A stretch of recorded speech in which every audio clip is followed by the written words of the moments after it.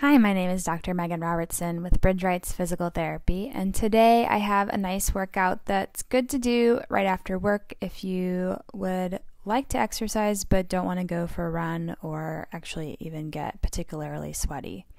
Um, for today's workout, you'll just need a wall that's clear of anything, or you could even use a countertop or a desk um, if it's stable, and a foam roller. Have fun! Start near a wall and place your hands about shoulder width distance apart and go ahead and do some wall push ups. So, we're going to do two sets of 10 of these. And the first set of 10, I have my elbows going wide. Uh, in the second set of 10, I'll have my elbows going narrow, but you can do two sets of either kind or mix it up like I did. To make these harder, you can step your feet further away from the wall um, to make them easier, you can step closer to the wall. And we're on set two. I like to make sure that I'm breathing by inhaling, lowering, and exhaling, coming up.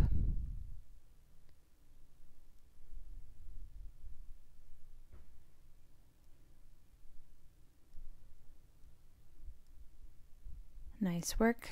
Next, we're going to do uh, exercise for the side butt muscles. So keep your hands on against the wall and lift your legs straight out to the side.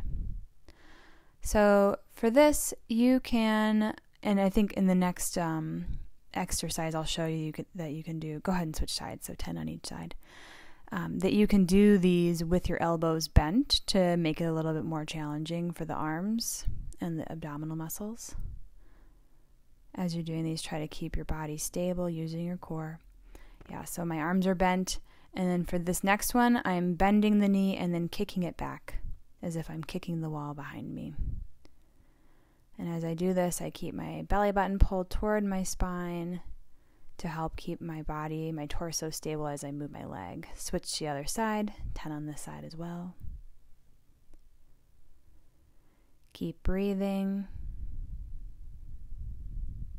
Keep your body stale, stable.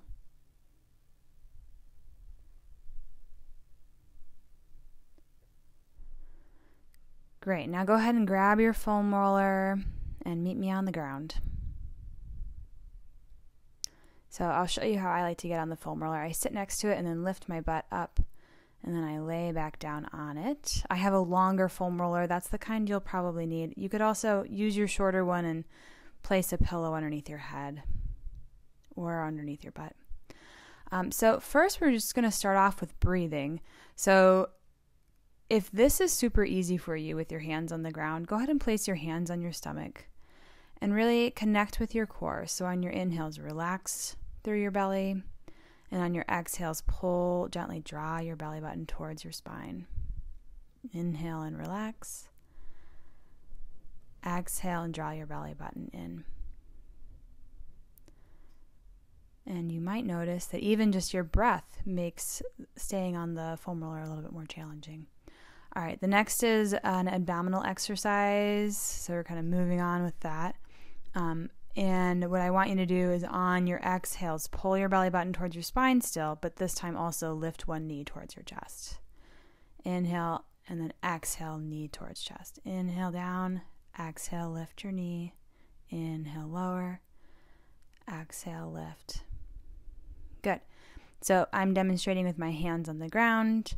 Um, you can either do fingertips if you want to make it challenging, or you can have your palm flat on the ground. If these are really easy, then try it with your hands interlaced on your belly or lifted um, off the mat. Really nice. Um, go ahead and take a little bit of break, take a couple more breaths, and then we'll do another set. Exhale, lift your knee, inhale, lower. Exhale, lift your knee, inhale, lower.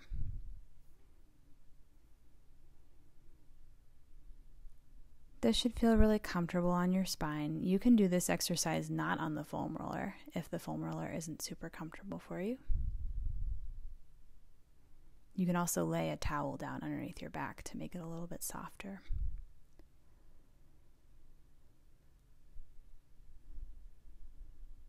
Great. Next one is going to be a little bit of a massage for the muscles in the back. So you take your hands and kind of scissor them overhead. And as you do this, um, you should feel the muscles that are on your back engage along the foam roller, and it should feel really nice. Move at a comfortable pace. Keep breathing.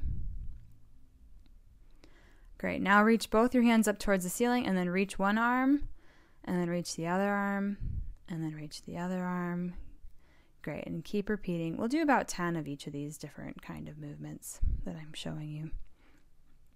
And for these ones too, you should feel those muscles engage along your back and then relax down over the foam roller.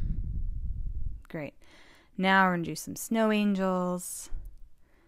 And you can see I'm trying not to bump the um, the stand for the camera, but you can make your snow angels as big as you want, as big as are comfortable.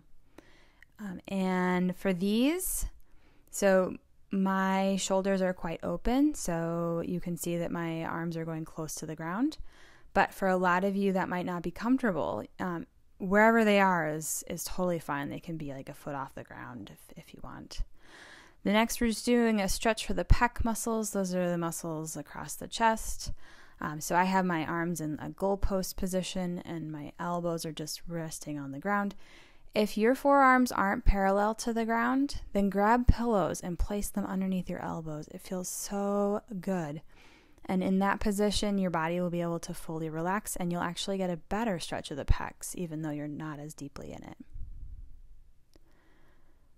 Keep breathing. So the pillows variation is two pillows underneath the forearms. Great, and then come off it. It's never really super graceful. I did an okay job in the video, but um, be gentle with your body. All right, next you're gonna um, have the foam roller the other direction, so like perpendicular to your spine. And we're gonna do um, some mobilizations of the spine so you can see in the video. I found a tight spot in my back and I'm leaning back over the foam roller. You can also roll the foam roller along your back, like I'm showing now. And for these, I have my knees bent so that my feet can kind of propel me in either direction.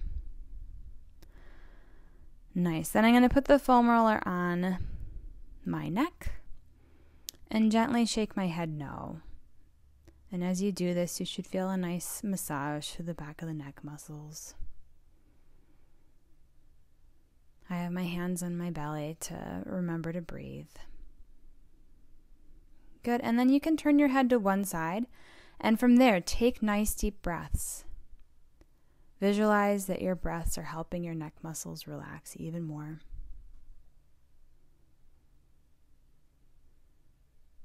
And after about five breaths, we'll turn our head to the other side. Go ahead and turn it now. And there, same thing. Imagine your breaths are helping relax your neck muscles.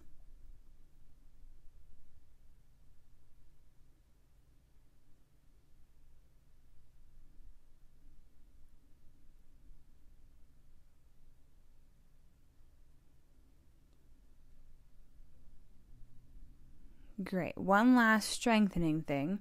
So take the foam roller again and slide it underneath of your feet.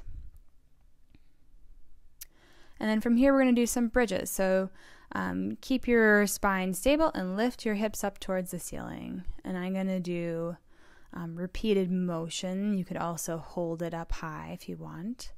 So um, for these, I like to exhale, lift my hips up, inhale, lower, exhale, lift, inhale, lower. We're going to do 10 like that or 5 like that, and then roll the foam roller a little bit further away and do another set of 5 in that position. Um, with your feet further away, you'll feel it more on your hamstrings or the backs of your legs, versus closer, you'll feel it more in your glutes or your butt. Great, and if you had fun with that, go ahead and do another set, but that's it for me today. Thanks for joining me.